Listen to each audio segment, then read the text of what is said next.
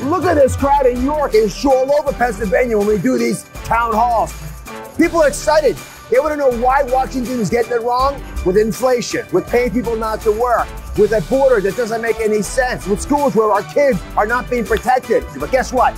These folks are energized, and so am I. Not going to happen on our watch.